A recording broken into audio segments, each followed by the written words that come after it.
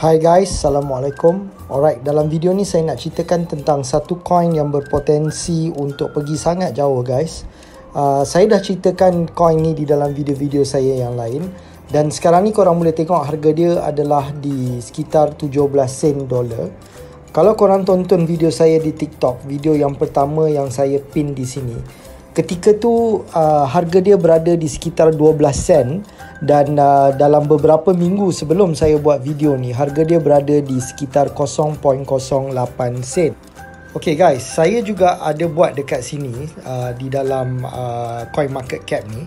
Saya ada buat watch list. Okay, so saya tekan watch list di sini. Dan kalau korang tengok di dalam market sekarang ini, ini adalah chart last 7 days.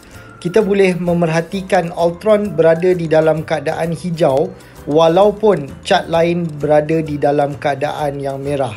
Okey sebab saya mengatakan Ultron ni berpotensi untuk menjadi seperti BNB dan Ethereum. So itu yang saya nak buat perbandingan di sini. Dan uh, lagi satu di dalam video yang sama ni juga yang saya tunjuk, saya ada ceritakan tentang DeFi lama. Alright. So apa dia DeFi lama? Saya ada buka Google kat sini dan saya tulis di sini what is DeFi lama. Dia kata DeFi lama is a crypto data website it take publicity available blockchain data and break it down into easy to read chart, graph and table. Okay, yang penting dia ambil real data blockchain. Alright, so kalau korang tengok di DeFi lama, sebelum ni pun saya ada sharing. Di sini apa yang saya buat, ini adalah uh, defilama.com dan uh, korang boleh tengok di belakang ni slash chains. Okey, lepas tu apa yang saya buat? Saya tekan setting di sini dan saya tekan staking. Sebab kita di dalam uh, Ultron ni kita tengah buat staking untuk dapat lipat kali gandakan coin tersebut.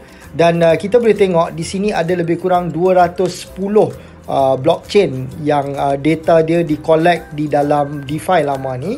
Dan uh, kalau korang tengok di sini Ethereum adalah yang paling tinggi dan uh, total value lock di dalam staking dia ada lebih kurang 23 billion, uh, Tron 5 billion, Binance 3 billion. Okay, apa yang saya nak tunjukkan kepada korang Ultron berada di tangga ke-6 sebanyak 851 million. Okay, kalau korang tengok juga di dalam video saya yang ini, dia ketika tu berada di tangga ke-9. Dan sekarang ni kita dah climb di tangga yang ke-6 guys. Okay, untuk korang yang nak tahu information yang lebih lanjut, korang tekan sahaja di link di sini. Okay, lepas korang dah tekan link di bio TikTok, korang akan nampak uh, page ni, korang tekan di sini. Terpaksa dapat RM100 atau lebih automatic dari blockchain. Okay, di sini kami akan guide step by step cara nak beli, cara nak staking dan sebagainya. So kita jumpa di situ guys.